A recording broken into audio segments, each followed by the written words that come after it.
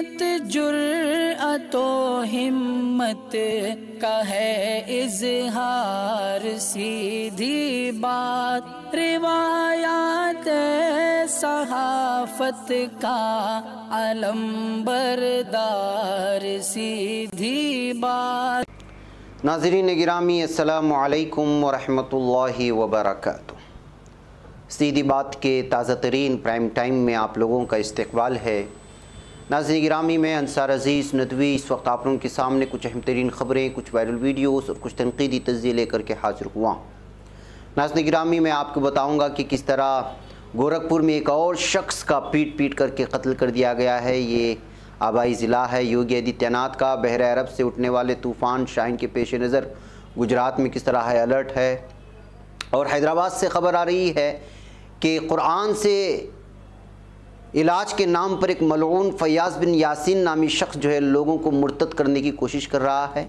उसकी तफसीत मैं आप लोगों के सामने रखूँगा तो वहीं पर मजदूरी मांगने गए एक मुस्लिम मजदूर को क्यों करके गोली मार दिया गया बिहार में? और रोनाल्डो का ड्राइवर सात घंटे बाद भी मशहूर फुटबॉलर की गाड़ी में पेट्रोल नहीं भर पाया। खबरें आ रही हैं और इंडोनेशियन एक आदमी की कुछ तस्वीरें वायरल हो रही हैं। अजीब व गरीब दुनिया की अजीब दास्तां होती है। मैं वो भी दिखाऊँगा और केरला में किस तरह बाईस साल के एक कॉलेज तालिबा को मार दिया गया है, वो भी मैं सुनाऊँगा। तो वहीं पर जो है बिहार से किस तरह से एक शख्स को मॉब लिंचिंग में मुस्लिम नौजवान को दस अफराद को गिरफ़्तार कर लेने की खबरें हैं। बहुत सारी चीज़ें नाजन ग्रामी सारी चीज़ें आप लोगों के सामने रखूँ। उससे पहले आप लोगों से दरख्वास्त कि जिन आपने हमारे चैनल को सब्सक्राइब नहीं किया कर लें। आपकी ज़िम्मेदारी है कि इदारे को मज़बूत करें सब्सक्राइबर्स की तादाद बढ़ाएँ, लोगों को लिंक शेयर करें व्यूवर्स की तादाद बढ़ाएँ और महीने का अख्ताम भी है, नए महीने का आगाज़ हो चुका है और आपको मालूम है कि जिनके वादे हैं वो ज़रूर पूरा करने की कोशिश करें। यह आपका इदारा है और इदारे की मजबूती आप लोगों की मजबूती है और हम आपकी खिदमत करते रहेंगे। बहरक अंदाज ने, ग्रामी, आइए इस वीडियो को देखिए जो ज़िला गोरखपुर में इस वक्त आ रही सीसीटीवी कैमरा फुटेज है ये। एक शख्स का पीट पीट करके कत्ल कर दिया गया है और ये वीडियो इस वक्त बहुत ज़्यादा वायरल हो रही है। इसके साथ कि ये देखिए, गोरखपुर जो कि आबाई ज़िला है वज़ी अला योगी आदित्यनाथ का, वहाँ किस तरह से क्राइम अपने हद को पहुँच रहे हैं ये कहते हुए इस वीडियो को शेयर करने की कोशिश की गई है। दरअसल गोरखपुर में एक शख्स को पीट पीट कर हला किए जाने का मामला सामने आया। कानपुर के कारोबारी का कत्ल हुए, अभी बहत्तर घंटे भी नहीं गुजरे होंगे कि ये दूसरा मामला पेश आया और वो भी वज़ी अली योगी आदित्यनाथ के आबाई ज़िले में। एक मॉडल शराब की दुकान पर काम करने वाले 25 साल नौजवान को ग्राहकों ने नशे में पीट पीट करके कत्ल कर दिया है और ये वेटर था। ये वाक़ दुकान में लगी सीसीटीवी में कैद हो गई। रिपोर्ट्स के मुताबिक वाक़ जुमेरात की देर रात रामगढ़ ताल थाने से तकरीबन 20 किलोमीटर दूर पेश आया है और बताया जा रहा है कि मनीष प्रजापति मध्य प्रदेश का रहने वाला था। कुछ महीनों से इस शराब की दुकान में काम कर रहा था।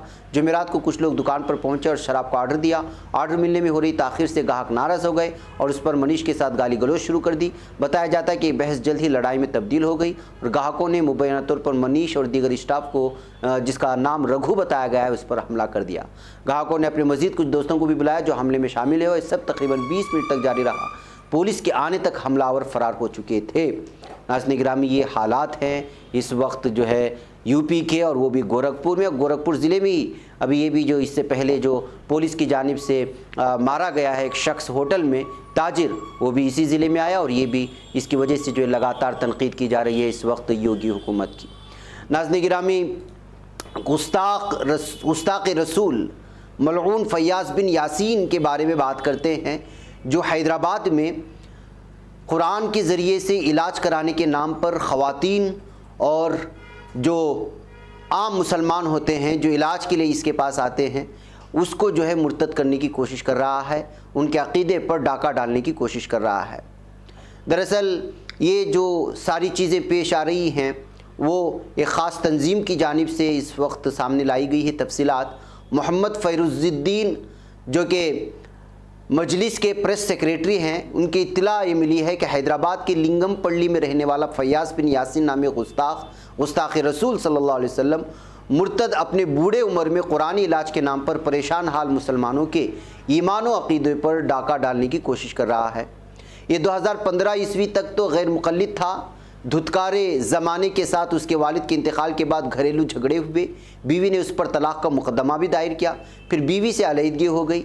मजलिस तहफ़ ख़त्म नबूत ट्रस्ट कामा रेड्डी की जानब से मनदा व अम्मा दीन खुदाम की मुशावरती इजलास से मेहमान आलम दीन मोहतरम मौलाना इकरामुद्दीन साहब सदर मजलिस तहफ़ ख़त्म नबूत ने खिताब करते हुए कहा कि आदमी गुनाह करता है तो एक नुक्ता शैतान की शक्ल में बनता है। जैसे जैसे गुनाह बढ़ेंगे, जरासीम की तरह बहुत सारे शयातीन पैदा हो जाते हैं। हमारे कुरानी असकार और अमाल सुनने से पाकिजगी होती है। ये शख्स कुरान आयात की रिकॉर्डिंग के ज़रिए इलाज कम और अपने कुछ बातिल अफकार व नज़रियात को ज़्यादा फैला रहा है। जिसकी तफसीत मौलाना इकराम ने कुछ यूँ बताई है कि ख़ुद फयाज़ कहता है कि मैं अल्लाह के हुक्म के तहत चलता हूँ। ईमान असल मेरी और अल्लाह की पैरवी करना है। इसी में खैर है और जो मेरी इतात नहीं करेगा, मैं उसको आखिरत में नहीं बचा सकता। और मेरी इतात ना करने वाले पर गुमराही का मोहर लग चुका है। मेरी इतात के बगैर नमाज़ और हज की इबादतें सब बेकार हैं। मेरी इतात करने वाली औरतें मेरे नज़दीक मेरी माँ से बेहतर हैं। अल्लाह की तरफ़ से आगे पेश आने वाले हालात की मुझे खबर दी जाती है। एक औरत ने उसकी बातों को झुटलाया तो नाउज़बिल्ला ये कहता है कि ईमान का रास्ता बतलाने वाले पैगंबर को तुमने झुटला दिया है। मुझे नहीं मानना ईमान की झूठी गवाही देना है। उसके अकायद में ये बात भी मिलती है कि दीन का इल्म हासिल करने का तरीक़ा ये है कि पहले दीन के तमाम को झुटला दो, फिर ख़ुद ब खुद दीन का इल्म हासिल होगा। अस्तफ़िरल्ला नमाज़ से मुतल कहता है कि नमाज़ से भी ज़्यादा अहम मुझसे गुफ्तु करते हुए अपने हालात की खबर मुझे देना है। हैदराबाद उसके लिंगम पल्ली और उसके आसपास के इलाके के लोग अगर अनजाने में इस मलून फयाज बिन यासिन नामी गुस्ताख रसूल के पास अगर जा रहे हैं तो इन तमाम चीज़ों से बाज आ जाए। बुढ़ापे में जो है ये सटिया गया है और ज़बरदस्ती जो है गलत अकायद जो है लोगों पर थोपने की कोशिश कर रहा है। ज़ाहिर सी बात है कि जिन लोगों की जो है मस्जिद से और दीन से और इस्लाम से और ईमान से थोड़ी दूरी होती है, वो इस तरह के लोगों में आ जाते हैं। इस वजह से इस फयाज बिन यासिन नामी शख्स को जो है नंगा करना और इसको लोगों के सामने इसके हक़ को बयान करना हैदराबाद की ज़िम्मेदारी बनती है। लिहाजा इस बात को संजीदगी से लें और लिंगम पल्ली का रहने वाला है, फयाज बिन यासिन इस वक्त लगातार डाका डालने की कोशिश कर रहा है। और जो मजलिस तहफ़ ख़त्म नबूत है, उनसे भी जो है उन्होंने जो मीटिंग मुनद की है, उसकी सराहना होनी चाहिए। और इसके अलावा इसको मज़ीद मज़बूत देकर के इस शख्स के सिलसिले में जो भी गलत अकायद फैलाने की कोशिश कर रहा है, इस सिलसिले में जो है पूरी तरह से तवज्जो देने की हैदराबाद और आसपास के इलाकों की भी ज़िम्मेदारी बनती है। लिहाजा इस जानब ज़रूर तवज्जो दें। बहकैफ नाजन ग्रामी, आइए अब बात करते हैं। एक मुस्लिम शख्स मजदूरी मांगने गया, यानी जो मजदूरी कर चुका था, लेकिन उसको गोली मार करके ज़ख्मी कर दिया गया। किस तरह हालात बदलते जा रहे हैं, आप अंदाज़ा लगा सकते हैं। बहट इलाके के थाना मिर्ज़ापुर के एक स्टोन क्रेशर पर मजदूरी का पैसा मांगने के एक मजदूर को क्रेशर मालिक के एक रिश्तेदार ने गोली मार करके ज़ख्मी कर दिया। जी हाँ देवबंद के आसपास का इलाका है। वाक़े के बाद इलाके में खलबली मच गई। इतला मिलने के बाद गाँव के बाशिंदे और पुलिस मौके वारदात पर पहुँचे। मिर्ज़ापुर थाना इंचार्ज और बाहट सर्कल ऑफिसर माफोर्स के साथ मौके पर पहुँचे और ज़ख्मी मजदूर को इलाज के लिए ज़िला अस्पताल रेफ़र किया है। मौसूला इतलात ये हैं कि गाँव मगनपुरा के पास शोम स्टोन क्रेशर पर गाँव का ही रहने वाला महताब इब्ने यासीन अपनी मजदूरी के पैसे मांगने के लिए स्टोन क्रेशर पर पहुँचा था। पैसा के लेन देन को लेकर कहा सुनी के बाद क्रेशर के मालिक नीरज के एक रिश्तेदार ने मजदूर पर फायरिंग झोंक दी, जिसके सबब मजदूर महताब शदीद तौर पर जख्मी हो गया। जैसे इस वाक़े को इतला के बाशिंदों को मिली अफरा तफरी फैल गई है।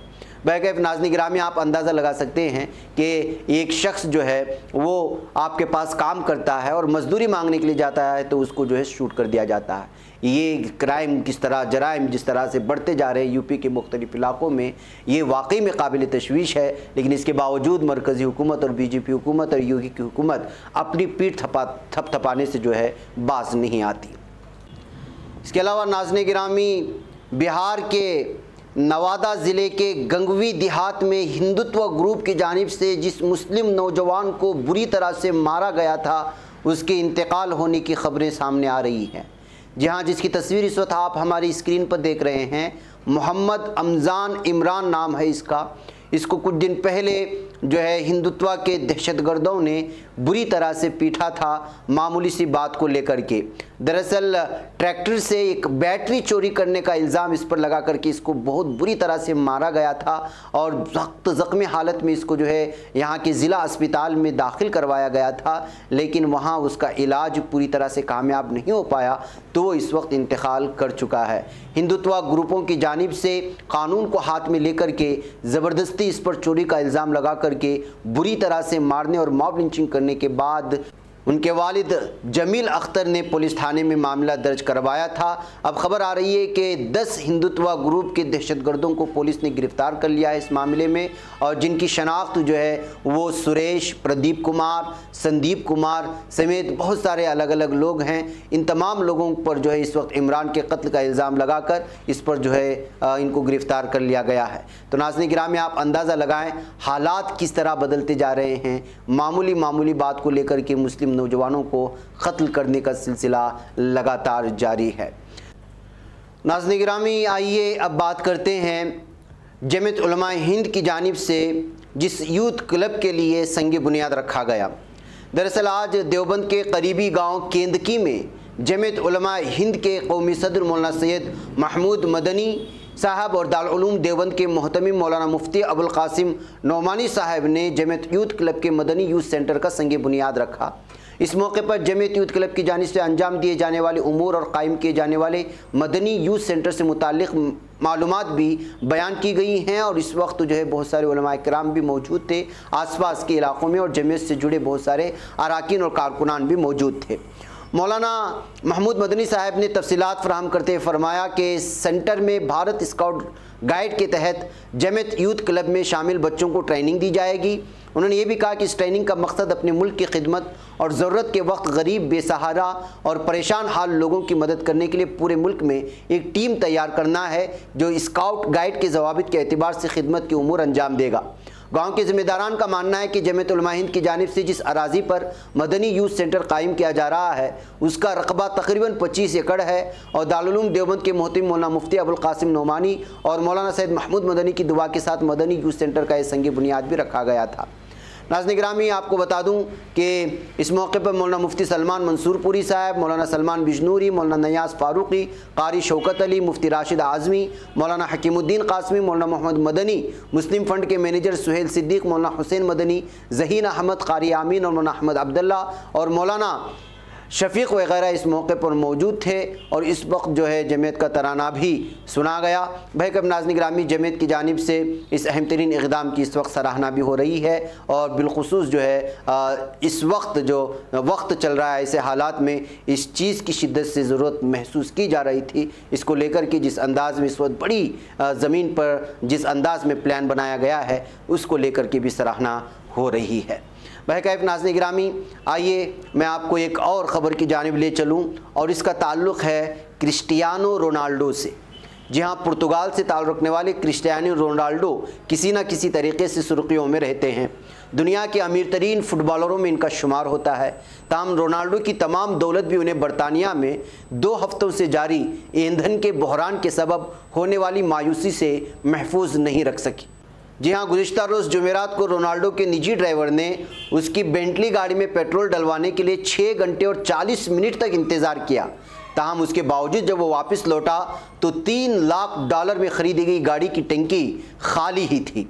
जी हाँ बरतानवी अखबार दिसन के मुताबिक रोनाल्डो का ड्राइवर दोपहर दो बजकर के बीस मिनट पर फ्यूल स्टेशन पहुँचा था तहम जब रात नौ बजे तक उसकी बारी ना आई तो मायूस होकर बारिश में मजीद इंतज़ार के बजाय वापस लौट गया और गाड़ी में सिर्फ़ उतना ही ईंधन था कि वो रोनाल्डो को बंगले तक पहुँचाया जा सके। तो नाजन ग्रामी इस तरह से दुनिया का अमीर तरीन शख्स और अमीर तरीन फुटबॉलर माने जाने वाले को भी जो है ईंधन के बहरान ने किस तरह परेशान किया, वो जो है उसकी वजह से खबर सुर्खियों में बन गई है।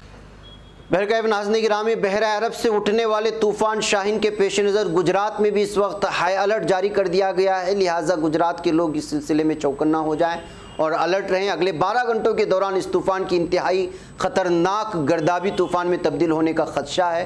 ये तूफ़ान तेज़ी के साथ हिंदुस्तानी साहिल की जानब गामजन है। दरियास्ता महकमे मौसमियात ने गुजरात में तीन दिनों तक भारी बारिश का इंतबा भी जारी किया गया है। महकमे का मानना है कि गुजरात के साहिली इलाकों में साठ से 150 किलोमीटर फ़ी घंटे की रफ्तार से हवाएँ चल सकती हैं। लिहाजा यहाँ साहिल के आसपास में रहने वाले लोगों को जो है अपनी हिफाजत के सिलसिले में चौकन्ना होना चाहिए और अलर्ट हो जाना चाहिए और बिलखसूस वो लोग जो इस वक्त गुजरात के साहिल पर रहते और बसते हैं, इसलिए कि बहर अरब में उठने वाला ये गर्दाबी तूफ़ान इस वक्त सख्त तरीन शक्ल इख्तियार कर चुका है। बहकैफ नाजन ग्रामी, आइए मैं आपको यूपी से, यूपी के बुलंद शहर से आई हुई एक और वीडियो आपको दिखाऊँ कि क्या हालात हैं यहाँ पर? आपको तो मालूम है कि गरीब बच्चों के लिए सरकारी स्कूलों में मिड डे मील दिया जाता है। लेकिन मिड डे मील तैयार करने के लिए उसके लिए खसूस बावर्ची को भी रखा जाता है। लेकिन महसूस ऐसा होता है कि जो है यूपी के बुलंदशहर में जो वीडियो आप देख रहे हैं, वहाँ तलबा भी रोटी पका रहे हैं और रोटी बनाने की कोशिश कर रहे हैं। तो नाजन गिरामी, यही वजह है कि इस वक्त जो ये वीडियो वायरल हो रही है और बुलंदशहर में बच्चों को पढ़ाई के बजाय खाने पकाना क्या सिखाया जा रहा है, या फिर जो है इन बच्चों की गुर्बत का मज़ाक उड़ाया जा रहा है, इस तरह जो है तनकीद करते हुए इस वीडियो को इस वक्त शेयर करने वाले ने तबसरा करते हुए शेयर किया है कि ये हालात हैं बुलंदशहर, यूपी के बुलंदशहर की स्कूल में, जहाँ पर बच्चियों को पढ़ाना चाहिए था, वहाँ पर उनको पकाने पर, रोटियाँ पकाने पर मिड डे मील तैयार करने पर मजबूर किया जा रहा है। ये हालात हैं यूपी के कहते हुए। इसको शेयर करने की कोशिश की गई है। बैगैब नाजन ग्रामी यूपी से यहाँ की इंतज़ामिया के खस्ता हालत की इस तरह की ख़बरें निकल कर के और वीडियोस वायरल होती रहती हैं। लेकिन आपको तो पता है कि जो है जिसकी लाठी, उसकी भैंस है। ये जितनी भी वायरल हों, लेकिन यहाँ की इंतज़ामिया और हुक्मरानों के कानों पर जू तक नहीं रेंगती है। मुझे यहाँ पर इजाज़त है वालकम वरहमल वर्का बच पाता है कोई सहाफ़ी की निगाहों से मिलाता है ये लोगों को मोहब्बत की पनाहों से। करम और दर्द मंदी का है एक संसार सीधी